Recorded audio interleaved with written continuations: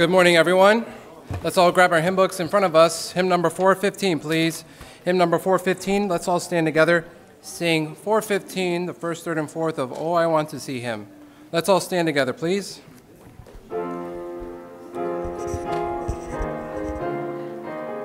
Verse number one. As I journey through the land, singing as I go, pointing souls to Calvary, to the crimson flow. Many arrows pierce my soul from without within. But my Lord leads me on, through him I must win. Oh, I want to see him, look upon his face there to sing forever of his saving grace. On the streets of glory, let me lift my voice. Cares all pass, home at last, ever to rejoice. Number three, when in valleys low I look toward the mountain height, and behold my Savior there leading in the fight with a tender hand outstretched toward the valley low. Guiding me, I can see as I onward go.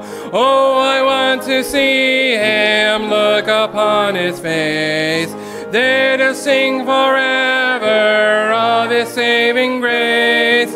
On the streets of glory, let me lift my voice cares all pass, home at last, ever to rejoice. When before me billows rise from the mighty deep, then my Lord directs my bark, he does safely keep. And he leads me gently on through this world below. He's a frail friend to me, oh, I love him so want to see him look upon his face, there to sing forever of his saving grace. On the streets of glory, let me lift my voice. Cares all pass, home at last, ever to rejoice. Isn't it going to be a good day when we see the face of our Savior? and there's nothing else that we see but Him. Isn't that going to be a great day? I can't wait for that. In fact, I'd be okay if that day was today. How many like the Lord Jesus just come back right now and all our sorrows and struggles and troubles would be over and we'd uh, live in, in, in heaven uh, forever. And if you're here today and you don't know that you're going to go to heaven, I hope you find that peace throughout the service today. We're so glad each of you are here. Welcome to White Oak Baptist Church and this is uh, just a great time of the year. I'm loving the weather outside. The temperature is great. Uh, uh, how many of you are allergy sufferers? Can you raise your hand if you're an allergy sufferer? I am an allergy sufferer. I didn't. I wasn't one till a couple of years ago. In fact, Wednesday night I wasn't here, uh, and I feel like a wimp. I feel like a wimp for missing out on allergies. But uh, my left eye was swollen shut because of the pollen uh, in the air. It looked like I had been punched in the face by Angela. And I did not want to come to church and have Angela get in trouble for being a husband beater. And so I decided to leave, stay home so she wouldn't get accused of anything, right? I was trying to avoid the, the appearance of evil there. Uh, I'm teasing, of course. But uh, we are having a great time with the spring and everything. We're doing the Little League uh, baseball for the kids and I'm wearing another hat around here. I'm not just the pastor, I'm now a coach. And so we're coaching, uh, I'm coaching one of the coach pitch teams, and Brother J.R. Badat's coaching the other team. And if you see Brother Badat, let him know that my team beat his team yesterday. Make sure you give him a real, it was a walk off win. Um, uh, little Evan hit a, uh, hit a walk off double, and we scored the winning runs there. And so my kids were jumping up and down for joy, and his were walking, out, walking off with their head hung low. Uh, I'm, I'm, I'm joking around somewhat, but we're having a great time with that. And uh, if you don't know, you don't know what to do with yourself on a Saturday afternoon. We play those games every week at three o'clock. The the uh, the little little kids play at two thirty with a t-ball stand, and uh, uh, when they're not making dirt castles and, and they're actually paying attention. Uh, but uh, that's a lot of fun to watch. And at 3 o'clock, we have the game with the older kids. And so we're selling concession stand, hot dogs and hamburgers for our teenagers. They're going out to youth conference in the fall, and that's meant to help raise money for that. And so if you're a teenager, get involved and help out with that so you can raise money. And if you're just a church member, you'll want to come out. And that takes place at Eli Whitney Elementary uh, each Saturday at 3 o'clock. We're having a great time with that. A whole lot to do today. We're looking forward to a good time in the house of God. Let's greet one another in the Lord. Shake uh, everyone's hand around you, and we'll come back and sing that chorus in just a moment.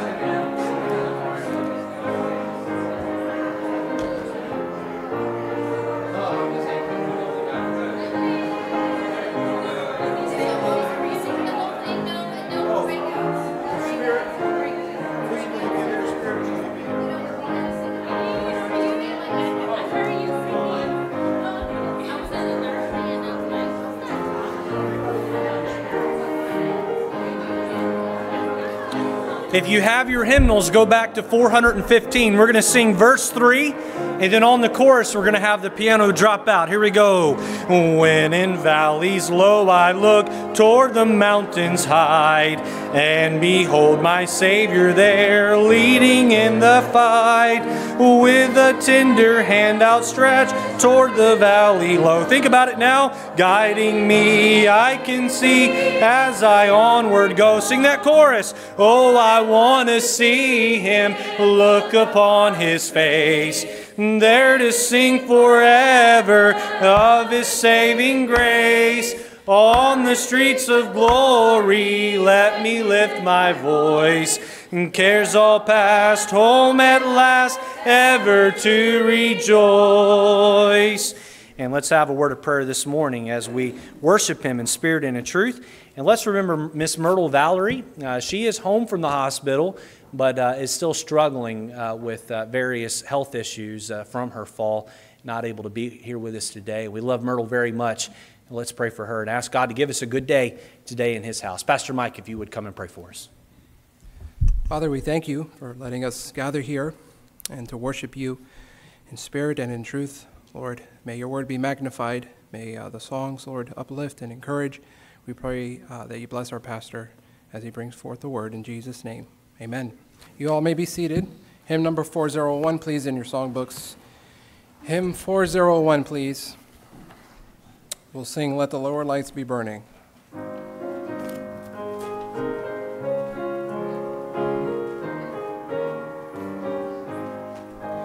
Brightly beams our Father's mercy from his lighthouse evermore. But to us he gives the keeping of the lights along the shore. Let the burning, send a gleam across the wave. Some poor fainting, struggling seaman, you may rescue, you may save. Number two. Dark the night of sin has settled, loud the angry billows roar.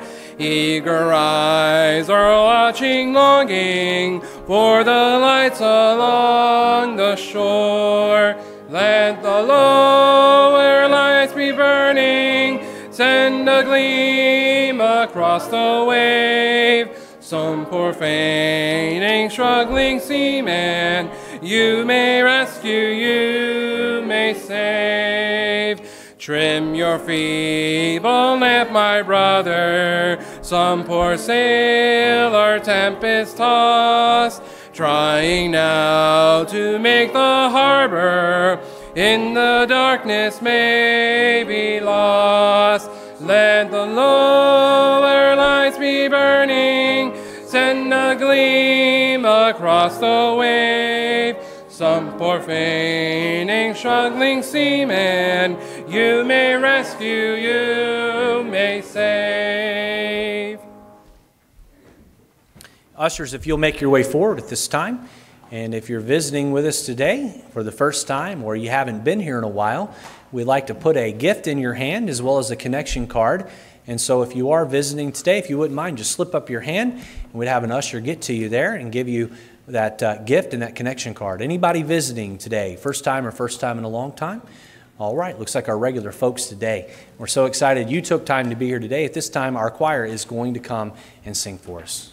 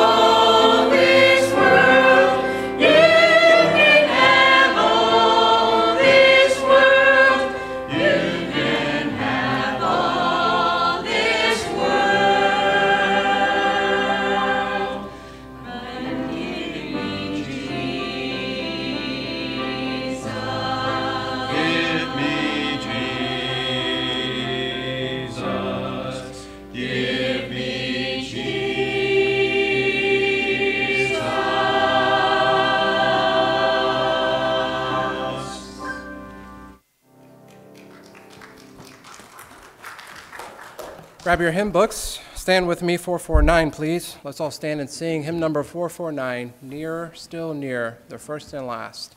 Hymn 449.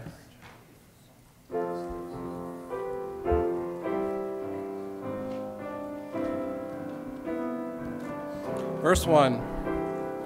Nearer, still nearer, close to thy heart. Savior, so precious thou art. Fold me, oh, fold me close to thy breast. Shelter me me safe in that haven of rest. Shelter that haven of rest. Number four. Nearer, still nearer, while life shall last, till safe in glory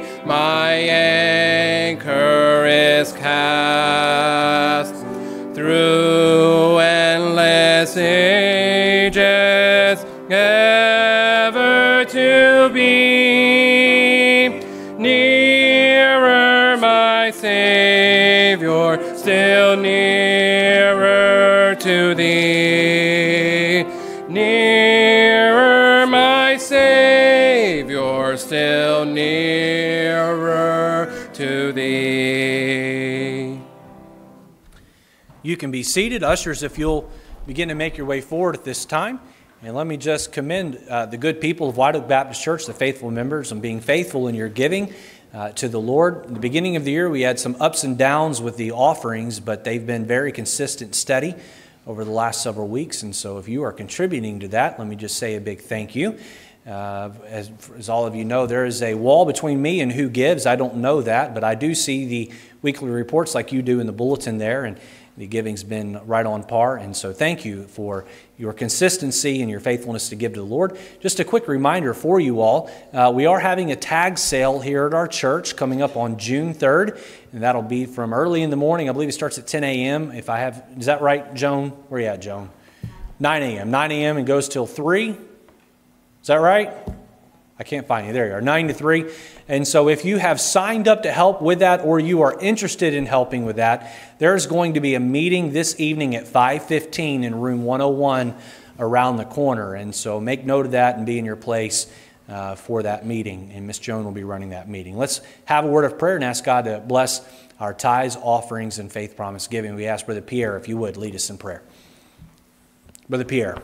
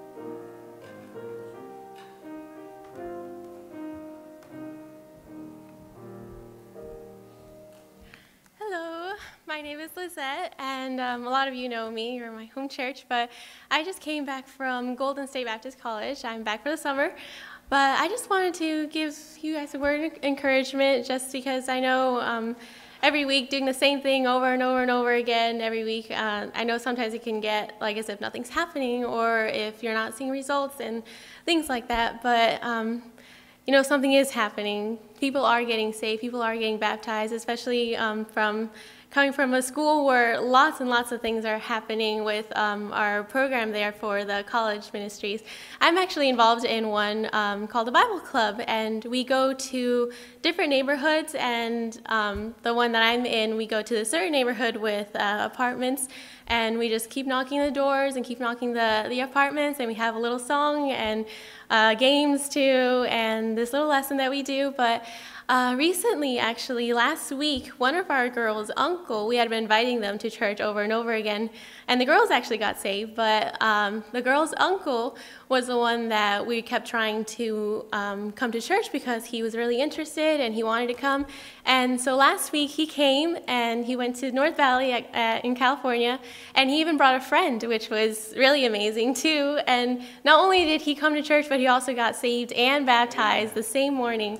And then he came back for Sunday night church. So that was just one of the huge blessings in my life because that was the first time um, for me personally to invite somebody and actually have them come to church and actually see them at church. So that was so exciting for me. But um, I also want to give the younger folks who are looking into college, maybe thinking about different ones that they want to look at, but um, just ask yourself, what are you going to do for eternity?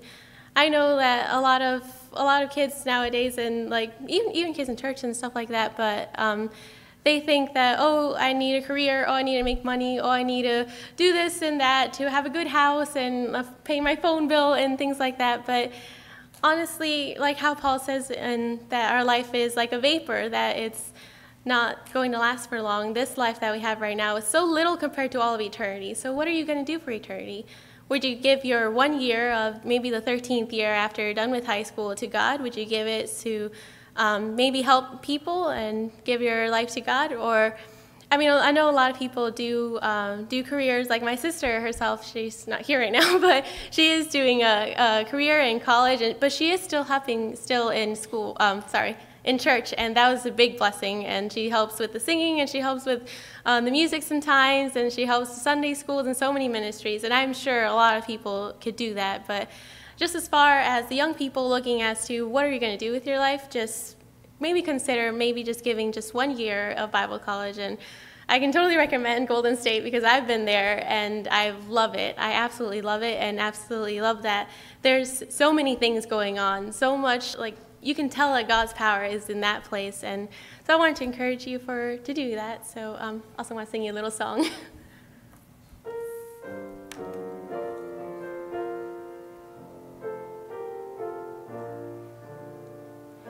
it's my desire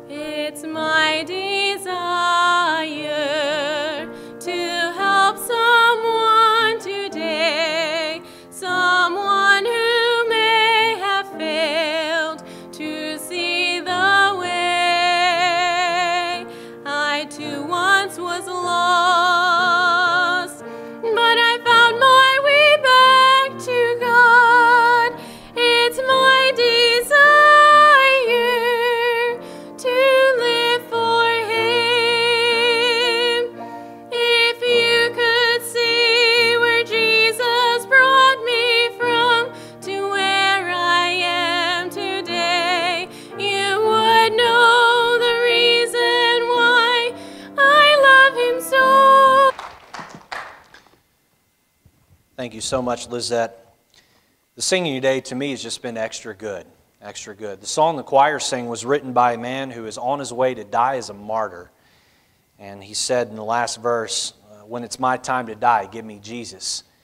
And so I enjoyed the choir special and enjoyed the heart that wrote the song and the hearts that sang the song. And then Lizette singing that. She is practicing what she's singing. Let me just encourage you with that. Oftentimes we'll stand and we'll sing a song, I surrender all, I surrender all. And we're not careful, those words don't really mean much. Uh, let's try to live what we're singing. Lizette's giving her life to study for ministry at a Bible college. And so she stands up here and says, I don't need wealth and riches. I don't need earth's things. It's just my desire to live for Jesus. And I, I pray that's all of our heartbeat. Numbers chapter 22 in your Bibles. Numbers chapter 22. We'll be looking at the first six verses this morning. While you're finding your way over there, uh, we do have our Memorial Day picnic that is coming up.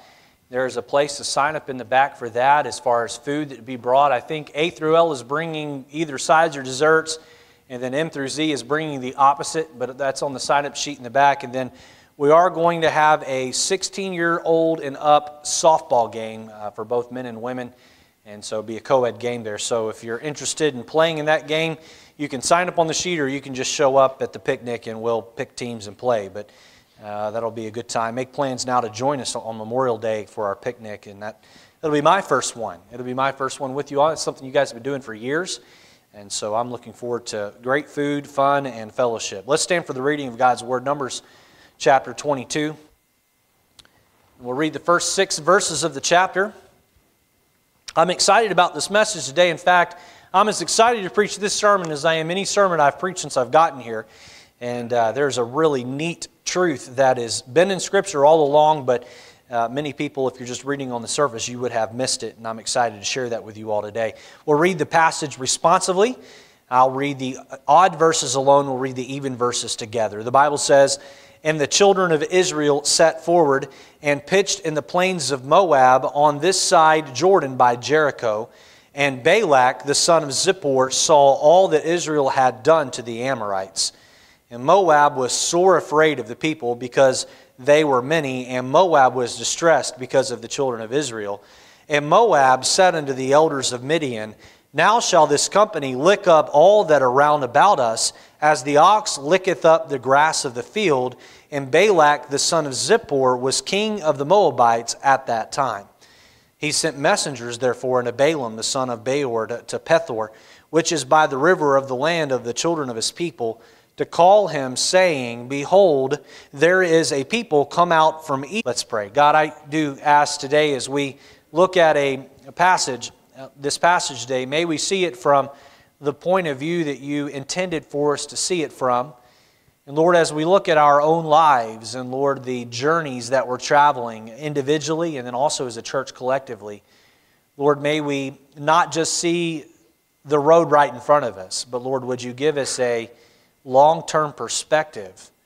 Lord, help us to see things through your eyeballs, help us to see things through your sight. And Lord, help us to understand that sometimes along the path there are hard times, but Lord, the hard times are sometimes where we've got to travel to get to uh, the good times and where you want us to be. And so, Lord, I pray today that you'd help us to see with your sight and see things clearly uh, as you want us to. And be with us now today as uh, we have the service. I pray, Lord, if there's one in our midst that has not yet trusted you for salvation, that does not know with absolute certainty that they're going to go to heaven. Lord, please convict their heart. I know two ladies came forward at the end of the 830 service to be saved.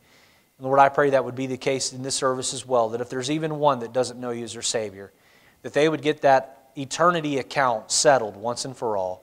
Be with us now in this service. In Jesus' name, amen. You can be seated. There was a shoe manufacturer who decided to open the Congo market. This was years and years ago. And so this, uh, this uh, shoe manufacturer sent two salesmen to a very undeveloped territory within Congo. One shoe salesman uh, called back and he said, Prospects here are nil, or there are no prospects. He said, Nobody wears shoes. He said, Fly me home. The other salesman reported enthusiastically, Market has terrific potential. Nobody wears shoes. Send me as many shoes as you can so we can sell, sell, out, uh, sell them all to everybody here. Everyone is barefooted. Uh, same situation, Two people saw it from two different perspectives. One looked at it from a very negative point of view, uh, the other one looked at it from a very positive point of view. Perspective. Perspective. There was a, lady, there was a, a college girl who wrote home. Actually, uh, this was a letter Lizette wrote to her parents. And, and Ben shared this with me. The letter goes like this Just thought I'd drop you a note to clue you in on my plans. I've fallen in love with a guy called Jim. He quit high school after grade 11 to get married. About a year ago, he got a divorce. We've been going steady for two months and plan to get married in the fall.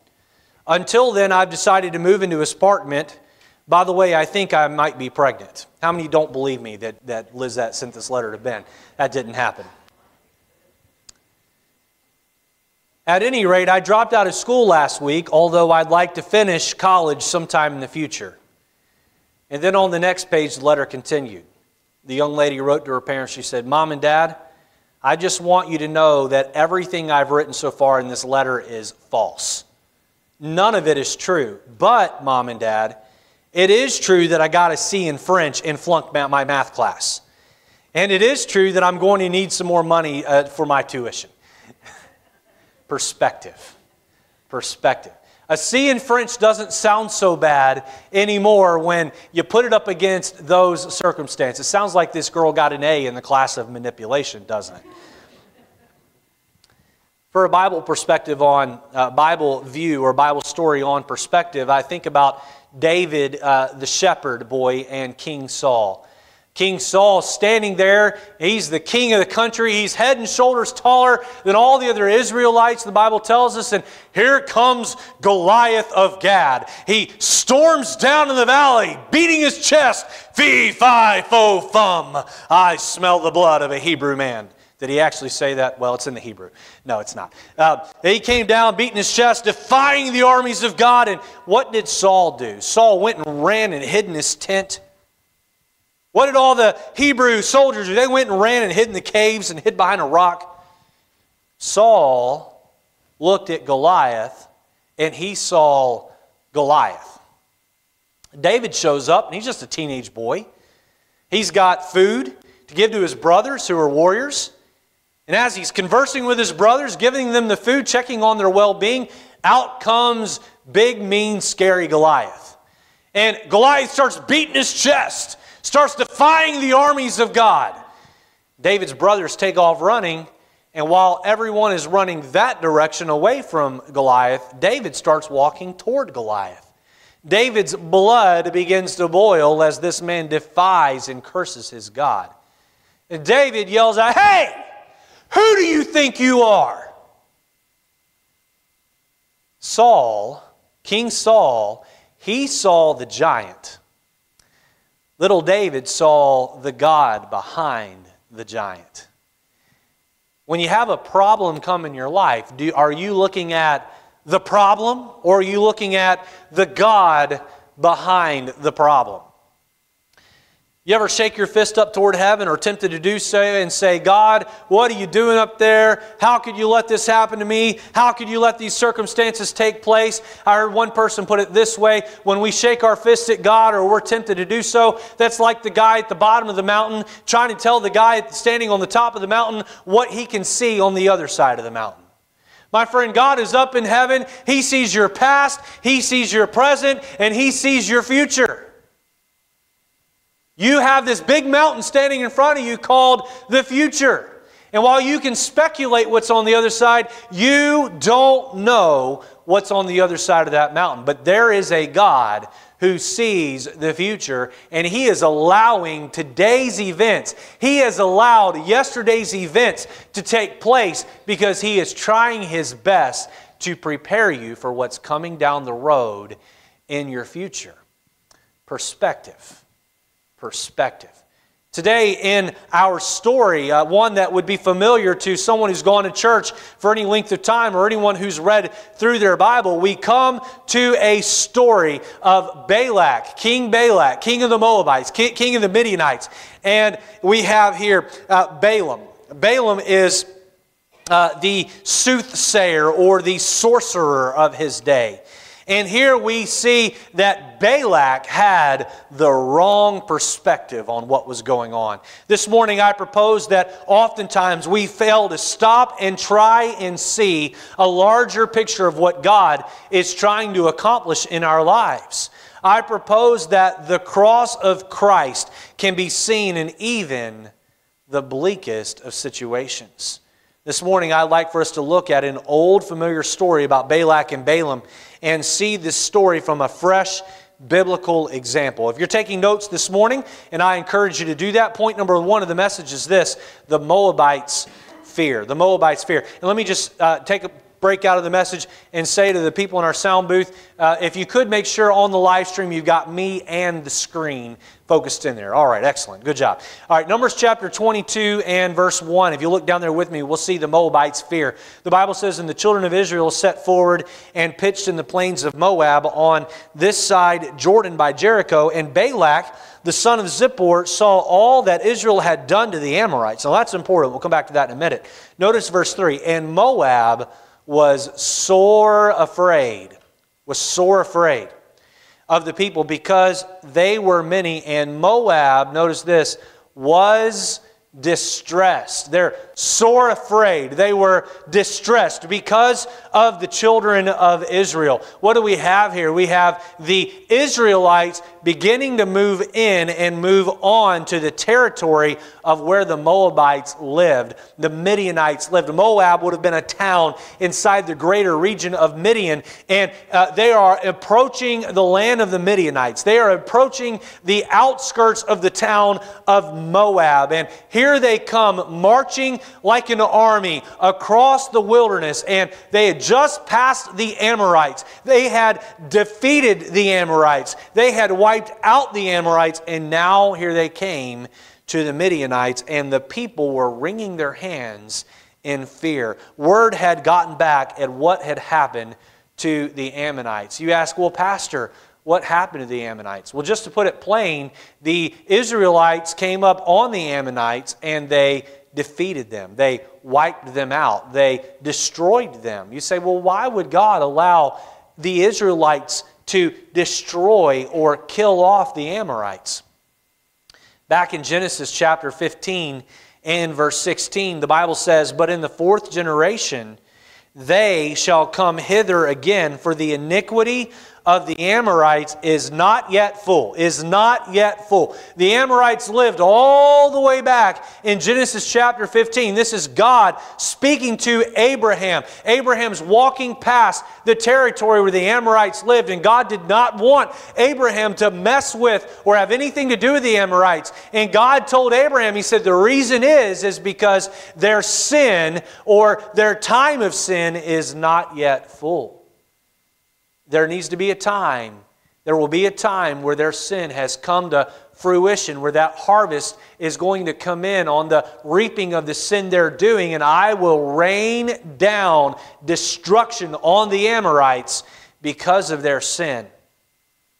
Just a quick note here God's timing works different than our timing, works different than our timing. Uh, I know in my home, when my children's do, children do wrong, I'm quick to punish. And you ought to do the same thing. Uh, don't wait till you're all frustrated and flustered to punish your children. You need to frustrate, uh, uh, punish them when you're not frustrated and get them to obey you with, with just a whisper. But God doesn't always work that way with us. Sometimes He will allow us to sin and to sin and to sin and to sin, and there seems to be no consequences on those sins. But there will come a day where that sin comes to be full or comes to fruition, and God rains down his judgment on us. And so, yes, for four generations, the Amorites would sin. For four generations, their sin would grow. The idolatry, the paganism, the heathen lifestyle. And God, after four generations of it, finally reached a point where He said, That's enough. By the way, the Amorites had grown great in power. Their kings were prominent names in the world scene. Their names were Sihon and Og. They were big deals. In fact, you find all the way through the history of the Israelites throughout the Bible, that the prophets remind the people that this is the God that defeated Sihon and Og. These were names that lived on in not only Israeli uh, uh, uh, infamy, but, but really the world history they lived in infamy. Uh, this would be like an Adolf Hitler or a Benito Mussolini or a Joseph Stalin. Those names live on in infamy on the world history scene. Yes, they live on in Germany and in Italy and in Russia, but live on even today on the world scene. That's how big of a deal Sihon and Og were. And here came the Israelites marching through the desert, and God commanded Moses, It's time to lead you, uh, your puny uh, uh, army into war against them, and I will defeat the Amorites. The Amorites had been wiped out. And here you had the little Moabitish army, the little Midianite army. They're looking down the road and saying, Look, if they made quick work of the Amorites, we don't stand a chance. Our army is nothing compared to theirs. And the people begin to worry. The people begin to fear. The people begin to become very afraid. And they turn to their leader, King Balak, who was the idolatrous heathen of them all. And they say, Will you please do something to help us? And so Balak looks at his arm and he says, that The answer is not going to be a military answer. And so, point number two, we see King Balak's faith. King Balak's faith. Instead of turning to a military answer, King Balak turns to an answer of faith. Now, you say, well, Pastor, you just got through talking about how heathen he was and how he was an idolater. Uh, uh, what are you going to now talk about him being a man of faith? He was a man of faith, but that doesn't mean his faith was a good thing. Sometimes when I'm out uh, in the neighborhoods around the church, and, and abroad, I'll ask someone, uh, What do you think it takes for a person to get to heaven? What are you relying on to get you to heaven? And one of the answers I get back from people, I get back this answer I have faith. And I stop and think, hmm. Now, how many of you here believe that faith is a major element to salvation? Can I see your hand if you believe that? It is. But just having faith in general saves nobody. It's what or who you have faith in. Do you know that every one of you today exercised a great deal of faith to get to church? How many of you either drove a car or rode in a vehicle to get to church today? That would be all of you. I don't think anybody walked to church. Can I ask you a question? Did you know all those people that you passed on the road to get here? Did you interview each one of them and say, okay, all right, all the people I'm going to drive past on the way into church today, I've talked to all of them. I've looked at their driving records. I have seen with my own eyes that they're capable drivers and they're not going to hit me on my way into church. How many of you did that today? You got in your car and you put it in drive and you went down a road with a double yellow line on it without knowing the person in the other vehicle, and by faith, you trusted that they were not going to come over and hit you. You say, uh, uh, is faith something just some people have? No, no, no. All of us live every day by faith. How many of you, before you sat down in that pew today, you got down on your hands and knees and you looked under it to see the structure of it? Nobody did that. You say, well, Pastor, I've sat in these pews many times. I've already tried them out. How about the very first time you walked in this auditorium and you sat in a pew? Did you get down and check the pew out? No, no, no. You trusted that it would hold you up and you sat down. You see, faith is a staple of everybody's life. Even the atheist who says, Oh, I don't believe in a God. Do you know that even that atheist has to have some belief about how we got here, and even he has faith? Your faith might be in the theory of evolution, and I'm going to emphasize theory, the theory of evolution. You know why it's called a theory is because it's a belief system. I cannot prove, I cannot replicate in a laboratory creation. I can't do it. I can't get God to come down and go into a laboratory and show everyone how we created everything from nothing. But the evolutionists can't go into a laboratory and recreate the Big Bang either. So it's a faith system. Balak had a faith system. What did he believe in? Well, look down at Numbers chapter 22 and verse 7. Here we find Balak, he is going to send the elders of Moab and Midian uh, off to Balaam to try to convince him to come. Notice how the reward is described in Numbers 22 7. The Bible says there, and the elders of Moab and the elders of Midian departed with the rewards of divination rewards of divination. That idea of divination is uh, uh, has to do with the occult or foretelling the future through a demonic presence. We'll see later that um, uh, actually in the end of chapter 22, I believe uh, verse 41 there, it talks about the high places of Baal. The high places of Baal, there was idolatrous bowing down to a graven image. And anytime you find idol worship in the Bible, they're not just bowing down to a piece of stone. They're bowing down to a demonic presence behind the stone. There's a greater power behind that stone that they're bowing down to. And so, uh, uh, just like Jezebel and Ahab, here you have Balak many, many years before. He is a man of the occult, he is a man of sorcery that believes in sorcery and witchcraft. And they send uh, the elders of Moab and Midian to who? To a man who is a a, a, a prophet of the occult. Look down at chapter 23 and verse 23. We see even more evidence of this. Here you have uh, Balaam now talking to Balak about uh, the curse that uh, Balak wants Balaam to put on God's people. And Balaam says to Balak, he says, Surely there is no enchant, enchantment against Jacob. And the word enchantment clearly is a word of sorcery. Neither is there any divination against Israel. He's saying, I can't use satanic uh, uh, uh, presence or oppression on these people. Yes, Balaam was good at that. Balaam knew that, but Balaam was not allowed by God. You might remember when uh, uh, uh, demon possessed people came in the presence of Jesus. What did they do? They'd throw themselves down and they'd worship Jesus because a satanic presence, when standing up directly to the divine God of heaven, has to submit and come under every time. And here you have Balaam here you have someone who is a sorcerer, someone who practices divinations, someone who practices enchantment. He cannot do what King Balak wants him to do. So we see here, point number one, we see the Moabites' fear. Here come God's people, the Israelites, and they are trembling in their boots. Number two, we see King Balak's faith. Balak gathers together the elders of the city of Moab and of the country of Midian, and he sends them over to Balaam, who is a renowned sorcerer. And they send them with great riches, with great rewards, and says to them, they say, uh, Balaam, will you please come and curse these people? And Balaam was smart enough to know that he was not going to be allowed to curse God's people without God's permission. Now, he was smart enough to know that, I'll give him that.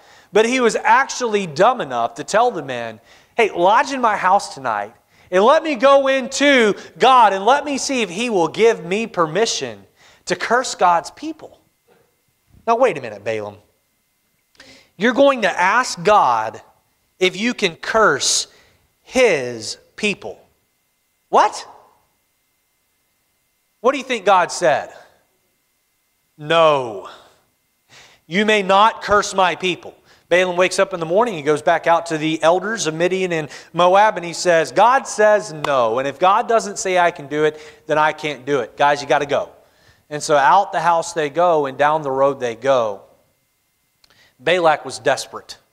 Balak knew that the end of his life and the extinction of his people was just down the road. And so, in desperation, he sends uh, uh, people with, that are more renowned back uh, in order to try to tempt Balaam yet again. Number three, we see this we see Balaam's folly. Balaam's folly. Here come these people with great rewards. In fact, letter A, we see his appetite. Speaking of Balaam, his appetites. Look down with me again at Numbers chapter 22 in verse number 7. The Bible says there, and the elders of Moab and the elders of Midian departed with the rewards of divination, the rewards of divination in their hand. What did they come with? They came with money. They came with gold and silver and fine jewelry and, and expensive clothing. And they, they came in, uh, with their caravan of camels and donkeys. And they're, they're, they're, they're uh, showing all these things to Balaam. And they're saying, Balaam, if you'll just come and you'll curse these people, uh, King Balak will give you all of this stuff. And Balaam looks at it and goes, Ooh, ah boy, I would really like, oh man, I, I've really been wanting that coat. I've, I've passed that in the store a hundred times and I've, I've wanted to buy it and it's just been a little bit out of my price range. And all I got to do is just uh, uh, professionally go and curse these people and I can have that. Oh man, that is so tempting. That wasn't enough to get him. Look down at verse 15.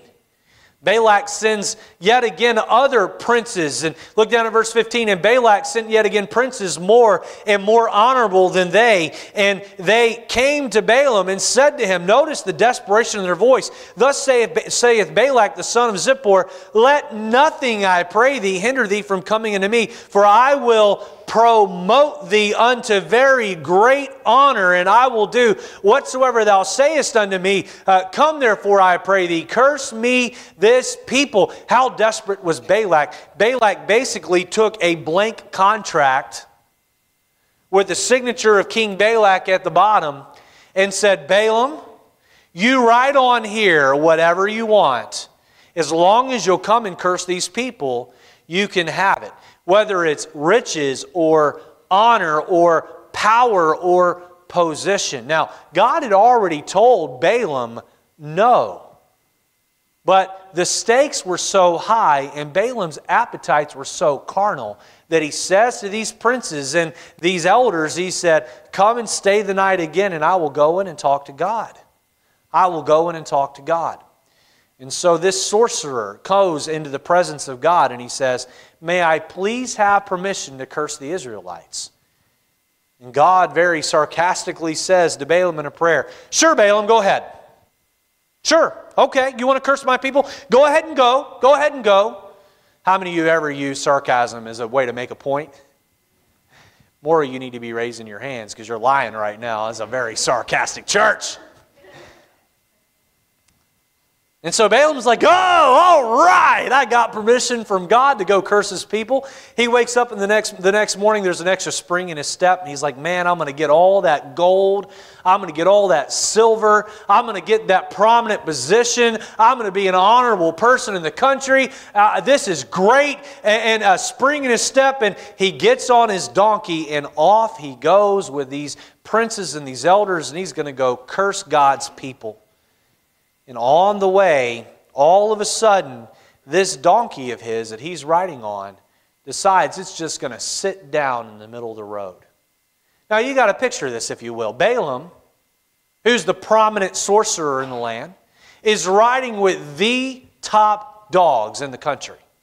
And ba- Balaam's trying to be on his best behavior. He, you know, like when you have company over, you're trying to make sure everything looks just right. The rest of the time, it's a mess. But when people are coming over, you're trying to make it look just right. And so he's got, you know, he's, he's doing everything just right. He's carrying himself as professional as possible. He's trying to ride his donkey, and he's probably saying to his donkey, You stupid animal, you better be on your best behavior. And he's riding down the road, and the donkey just sits down in the middle of the road. And he's thinking, What are you doing? And he gets off and he beats the donkey, and the donkey stands up, and down the road he goes. Next thing you know, they're going through a bridge. And the bridge has walls on both sides, and the donkey smashes his foot up against the wall. And oh, he screams, he's in pain. He gets off the donkey and he's beating the donkey as hard as he can. You stupid animal. He gets back on the donkey and they're riding along again and they're going down the road. And all of a sudden, the donkey just takes a hard ride into the vineyard. And he's beating the donkey. Letter B, we see his anger. His anger. Look down at verse 27.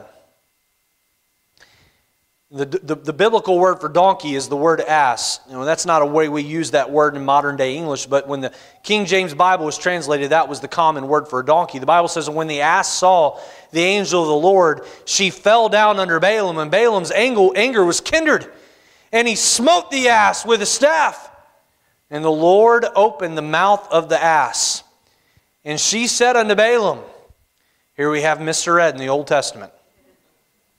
What have I done to thee that thou smitest me these three times? And Balaam said unto the ass, Because thou hast mocked me, I would uh, there have a sword in mine hand, for now would I kill thee.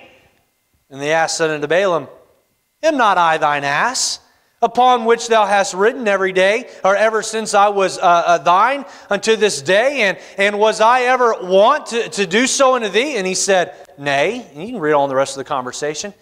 Look, it's bad enough that the donkey's talking to him. He actually replies. He's having a conversation with this animal. And let me just stop and say this here that this actually happened.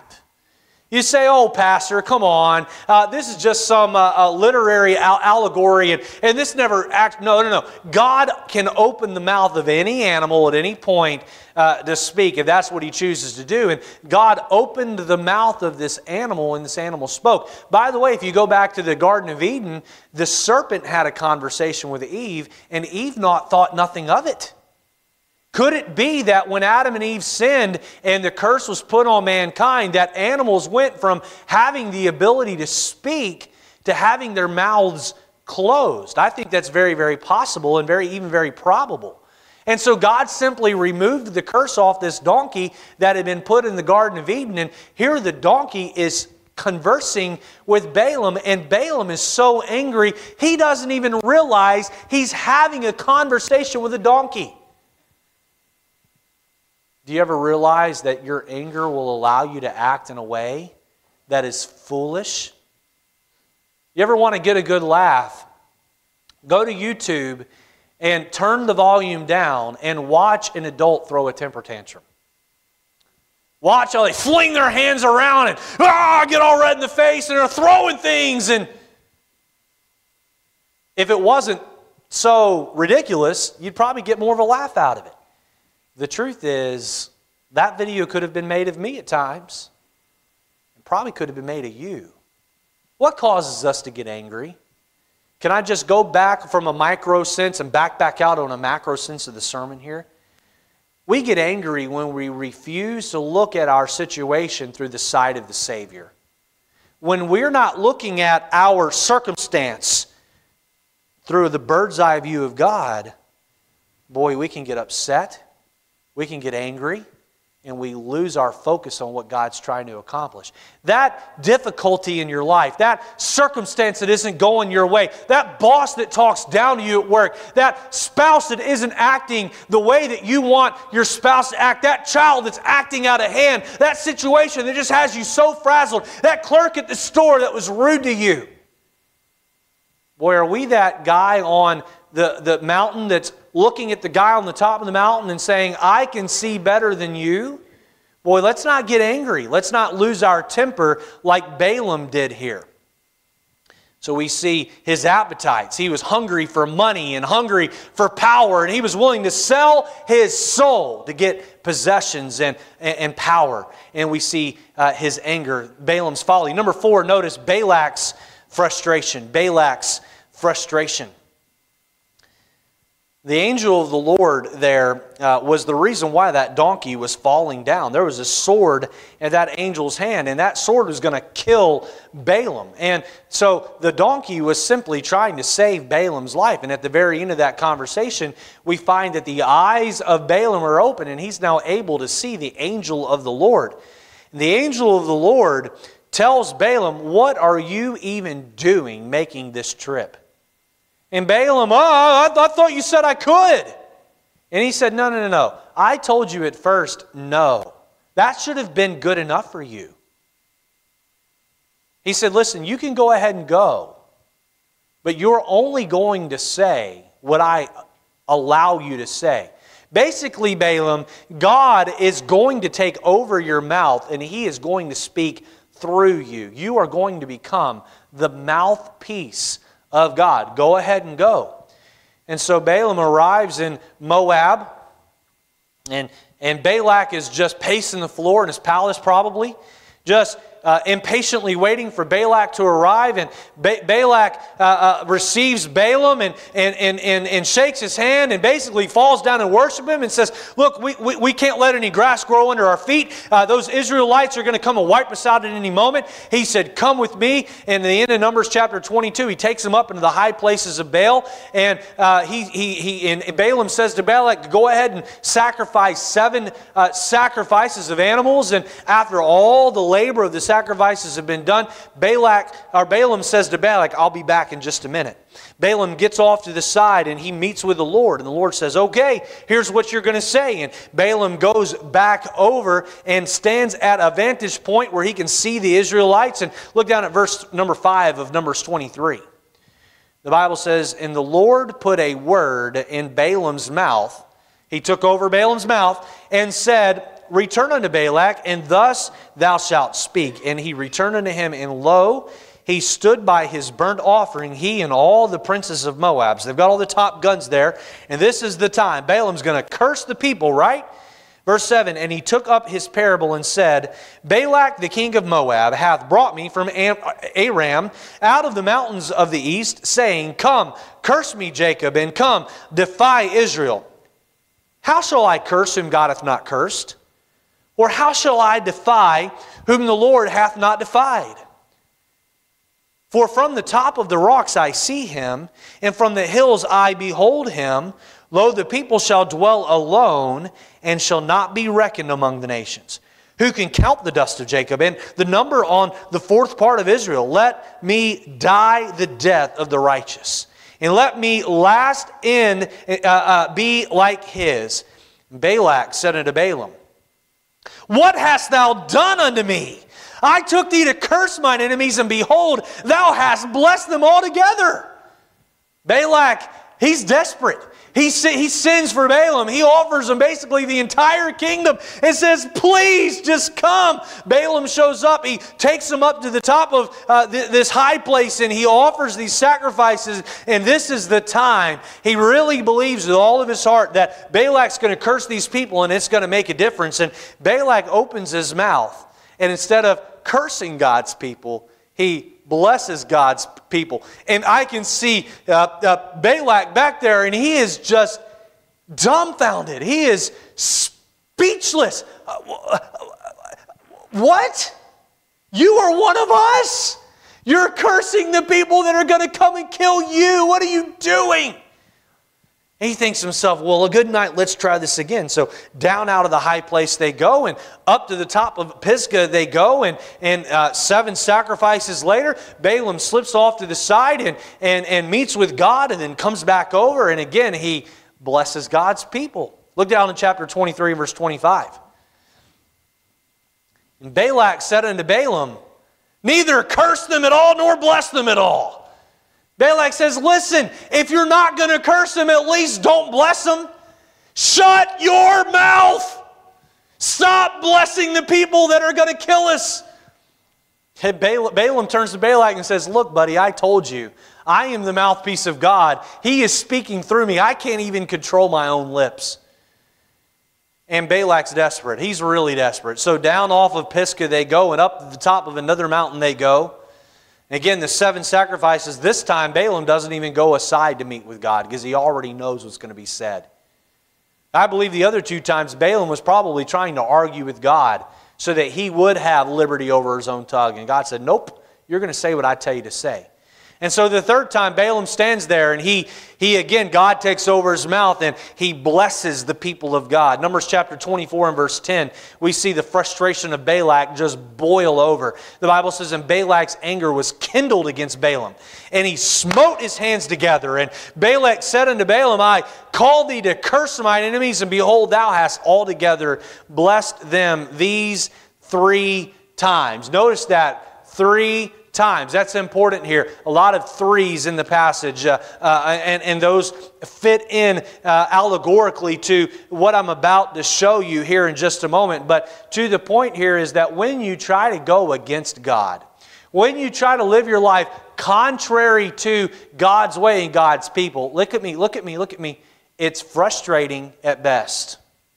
It's frustrating at best. It is a losing effort. You sit here today and you are living your lifestyle that's in contradiction to Scripture. Can I promise you something? It's only going to bring about frustration and more frustration and more frustration. Here you have Balak, the king of the Moabites. He calls in Balaam. He says, Curse God's people. And Balaam doesn't. And you know what? He gets frustrated over it. And if you want to live your life in contrary, in contradiction to Scripture, it's going to bring more and more and more frustration. God says in His Word, you are to be in God's house every time the doors are open. You say, but Pastor, I don't want to be in God's house every time the doors open. I only want to come on Sunday mornings. And the Bible says in Hebrews, forsake not the assembling of yourselves together, but so much the more as you see the day approaching. We're a day closer to Christ coming back now than we were yesterday. And tomorrow will be another day closer. Even more reason to be faithful to the house of God. But Pastor, I don't want to do it. It doesn't matter. If you want to live contrary to the Word of God, you're only going to bring frustration on your life. But, Pastor, I want to watch that TV show, but God's Word says. But I don't care what God's Word says. Go ahead and be frustrated. But, Pastor, I don't want to go soul winning. Well, I'm sorry. God's Word says, I don't care what God's Word says. Well, then you're going to live frustrated. The idea there is bring your life in and under the submissive hand of what God's Word says and watch as the frustrations of life fall by the wayside. Number five, we see Israel's formation. Israel's formation. And this is where we're going to get down into some of the details of Scripture. And if you're just a surface reader of your Bible, you would have never seen this. If you like to dig deep and get neat nuggets out of Scripture, I'm going to show you something that's really, really fascinating here. Letter A, first notice where Balaam stood. Look back with me, look back with me at Numbers chapter 22 and verse 41. Will you look there with me in your Bibles? Numbers chapter 22 and verse 41. And when I pause, when I pause my reading, I want everybody out loud to read the next two, two words together with me. Okay, Numbers chapter 22 and verse 41. And it came to pass on the morrow that Balak took Balaam and brought him up into the high places, the high places of Baal. He took him up to a high place where they could oversee all the Israelites. Here you have the Israelites dwelling down below them, and they're standing up high where they can see the entire camp of the Israelites. Okay? So that was the first time. He takes them out, down off of there, chapter 23 and verse 14. Look there with me. Chapter 23 and verse 14. It says there, and he brought him into the field of Zophim to the top of Pisgah. The top of Pisgah. So, where are they standing? For the first time, when he blesses, they're standing in a high place. The second time, they're standing on the top of Pisgah. Look at chapter 23 and verse 28. Chapter 23 and verse 28. The Bible says, And Balak brought Balaam unto the top of Peor. The top of Peor, all three times. All three times, Balak takes Balaam where he can look out and he can oversee the entire camp of the Israelites. They had a bird's eye view over the Israelites. So you ask, well, Pastor, they're up there and they're looking down on the Israelites. What exactly did they see? Well, I'm glad you asked. Letter B, what Balaam saw. What Balaam saw. And I would encourage you later to go to Numbers chapter 2, as I did in preparation for this sermon, and read this for yourself and, and, and uh, be like the church of Berea that proves that what I'm telling you is true. But in Numbers chapter 2, we find exactly what Balaam and Balak and the nobles and princes saw. They looked down and they saw how God had told Moses to form the Israelites. Can you put that next slide up there for me? We know Zebulun reside, next slide, on the east side of the tabernacle, the east side of the tabernacle. If you go through and you count, and I've rounded these numbers off, but uh, uh not drastically rounded off, I think the count here is 186,200. I lopped off the 200, but uh, you can go through and, and uh, read and get the exact numbers. They're very, what I have on the screen is very close to uh, what uh, the Bible tells us there, rounded down or up to the nearest thousand there. But 186,000 people dwelled in the camp of Judah and Zebulun. This is a 1 6,000 scale of what would have been that day. Each one of those tents represents 6,000 uh, people. And so uh, Judah and Zebulun were on the east side. You say, well, Pastor, why do you think that God put Judah on the east side? Well, uh, Cairo, if you're traveling from Cairo, Egypt, over toward uh, where uh, modern day Israel today is or where they were going, they would have been traveling from west to east. Judah was the firstborn. Judah was leading the Israelites across the desert there. So Judah and Zebulun dwelling on the east side, 186,000 of them. Put the next slide up there for me. Uh, uh, Reuben, Simeon, and Gad were commanded to dwell on the south side of the tabernacle. And we know from Scripture there were 151,000 of them. On the Let's see, west side, put the next slide up. You have the tribes of Ephraim, Manasseh, and Benjamin. There were 108,000 of them. And on the south side, you have Reuben, Simeon, and Gad. And there were, next slide, 151 or 157 rather, thousand of them. Give me the next slide. What did Balak and Balaam see? as they stood up on Pisgah and Peor and the high places of Baal and looked down on the Israelites. God had formed his people in the shape of a cross. The Israelites marched through the wilderness in the shape of a cross. Every time God from heaven looked down on his people as they traveled, the 40 years they were in the wilderness, he looked down and he was reminded that his son would be birthed through the tribe of Judah, dwelling on the east side there, and that his son would die on the cross. Balak and Balaam stand there and they look down on the children of Israel. And for the record, they didn't know what a cross was. Crucifixion wasn't a form of punishment back then. But they looked down and Balaam said, I can't curse them. You say, why was it that God was not allowing this sorcerer to curse the children of Israel? Because God was protecting the symbolism of the cross. God was not going to allow a man who had satanic powers to curse the cross of Jesus Christ. Three times. Three times he blessed the cross. Does anybody know how many days Jesus lied dead in the ground after he died on the cross? Three days. Three days. Listen, you can't make this stuff up, folks. You can't make this stuff up. Balaam stands there and he blesses God's people as he looks down and he sees the cross. By way of conclusion, I've jotted down some parallels here between what Balaam saw and how it applies to you and I today, and really even what happened there. The first thing I wrote down in my conclusion is this there were sinners. There were sinners that made up the cross. Let's see if I can get this here to work.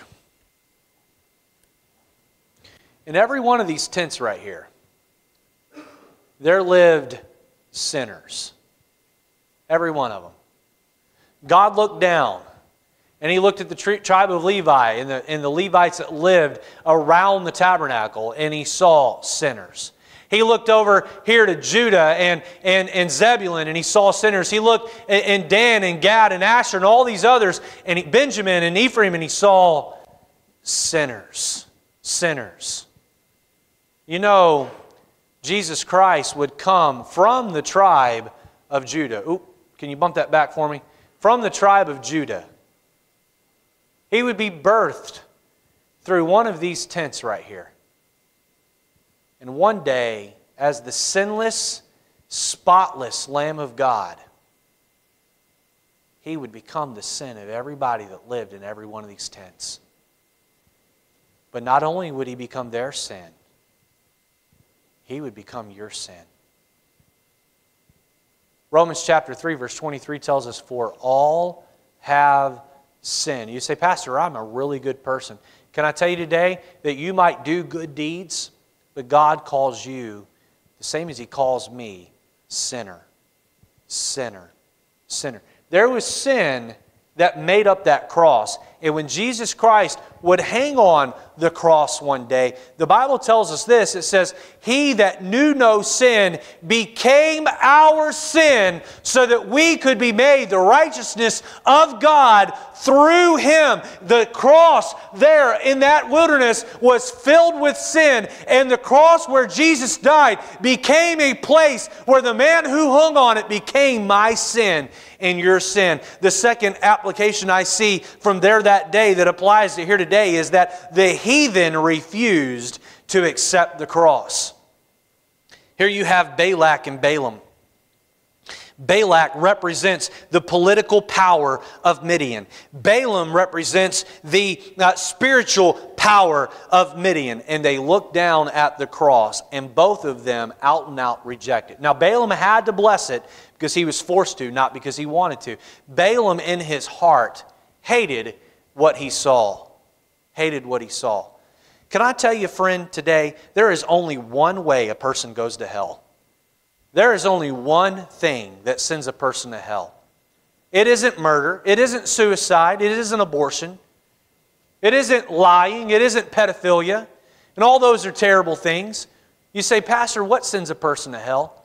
The same thing that sent Balak and Balaam and the Midianites to hell their rejecting of the cross.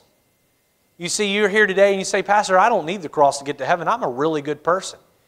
And I'm here to tell you that you're not a very good person, not in comparison to a holy God who's never committed a single sin. Jesus came and he lived and he died. Balak and Balaam looked at the cross and they said, Not for me. Not for me. Romans chapter 6, verse 23 says, For the wages of sin is death. The wages or the payment or the paycheck or the earnings of your sin, the breaking of God's law, is death or separation or eternal damnation from a holy God. Who ends up going to hell? Those that reject the cross. Who ended up dying and, and, and being abolished off the planet? The Moabites, a couple of chapters later. Why? Because they rejected the cross. If you're here today, I'm going to encourage you don't look at the cross of Christ and reject it any longer. The third application I see from this cross that the Israelites made up and Balaam and Balak as they stood there and they looked at it is that the sacrifices that took place within the cross. Again, right here, Inside uh, the tabernacle, or rather around the tabernacle, we know is a courtyard. And right inside the door of the tabernacle was a brazen altar. And uh, they were commanded uh, in Leviticus chapters 2, 3, 4, 5, 6, and 7 to take an animal and to bring that to that courtyard. And they were to bring that animal in and they were to have it checked and it was to be spotless and it was to be clean. And the priest would lay that lamb, lay that ox, lay those turtle doves on that brazen altar, and there inside uh, that courtyard where that brazen altar was, blood was spilled to atone for sin. All the while, in these tents, there are children being born. And one of those children would have a child. And that child would have a child. And that child would have a child. And one day, Mary would have the Christ child, Jesus. And while people are having babies there over in the, the, the Judean tents, one of those children would one day become the sacrifice, the Lamb of God. That all of those lambs that were sacrificed there inside uh, that courtyard would represent the Lamb of God, would pay for your sins. What can wash away my sins? Nothing but the blood of Jesus. What can make me whole again? Nothing but the blood of Jesus. You're here today, you say, How do I get to heaven? You've got to allow the atoning, cleansing blood of Christ to wash the sins off your record and off your soul. The last thing I see out of this passage is that salvation, the salvation that came from the cross. You see, I imagine a little boy going into his cattle with his dad maybe picking that favorite lamb, that choice firstborn lamb that was without spot. And they walking from their tent over to the tabernacle. And that little boy looks up at his dad and says, Dad, why does that lamb have to die? And the dad looks at his little boy and he says, One day, son, there will come a day when our Messiah will become the sacrifice for the sins of the world. And that little boy going back to his tent and getting down on his knees next to his cot and saying, Jehovah, I don't know how you're going to do it, but I believe that you are going to die and be the atonement for my sin. I believe in you. My friend, you get saved the same way. You don't earn salvation, it's a gift, it's free. You say, How do I get it? You have to extend your hand of faith. and You have to believe. You have to believe on, the, back, back it up here. You have to believe on the cross. The cross of Jesus Christ that's found in the Israelites as they marched through the wilderness. Let's have every head bowed and every eye closed this morning. Every head bowed and every eye closed. Have you lost some perspective this morning? Here, the Israelites are living in the wilderness, walking through sand, eating manna, complaining and griping and murmuring about how hard they have it. And yes, God sees the murmuring, but God looks down and He sees the cross. You know, God wants to take your hardships, sir. He wants to take that disappointment, ma'am, and He wants you to allow Him to show others the cross through you. How many here this morning would say, Pastor Lejeune, I know beyond of a shadow of a doubt that I have put my faith in the cross for my eternal salvation. And when I die, I'll be in heaven with Jesus because of my faith in Him. If that's you, would you very proudly or very, uh, very uh, uh, uh happily slip up your hand if you know God has redeemed your sins? How many here today would say, Pastor, I wasn't able to raise my hand because, truth be told, I have not accepted the sacrifice of Christ, the blood atonement of Christ for my sin. I'm not sure that if I were to die, God would grant me access to his heaven.